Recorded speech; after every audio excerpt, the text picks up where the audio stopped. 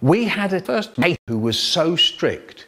He used to sit at the port going, Stop right there. Where do you think you're trying to go?